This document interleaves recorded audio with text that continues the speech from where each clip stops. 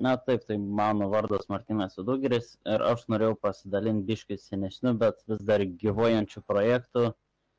Tai C puslapis.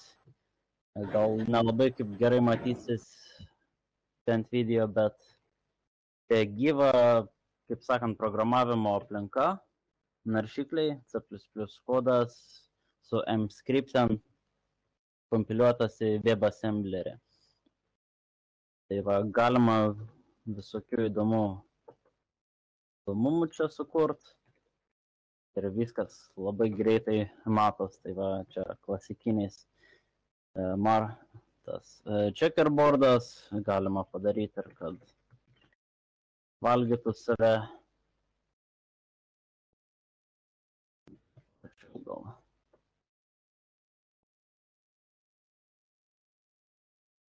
Ne kaip ant video matos, bet čia smagus toks redaktorius. Tai va. Paskutinis dalykas, kurį dėjau, kad būtų dokumentacija dar šiam redaktoriui. Tai čia pats e, vaizdas su e, WebGL grafiką piešt, e, o meniu su imgui. Tai pasistačiau tokį minimalų tekstinį redaktorių ir gan smagiai čia žaidžiasi nežinau, kiek gerai matot, gal biškai padidinsiu pikselio dydį. Vienas per daug, bet gal.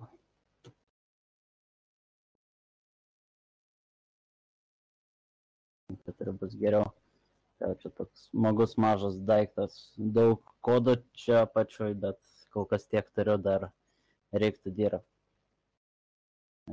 Tikimai dar pridėsiu e, kitas programavimo kalbas kaip e, Lispa ar integruosiu shaderio kalbas, nes pagrindinai šį darbą man, na, inspiracijos davė shader toj.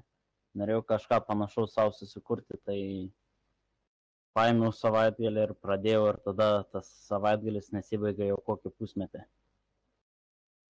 Tai tiek iš demo pusės. Gal klausimų turit? O čia kokia mintis šito buvo, kad pasitestuot real time uh, kodą?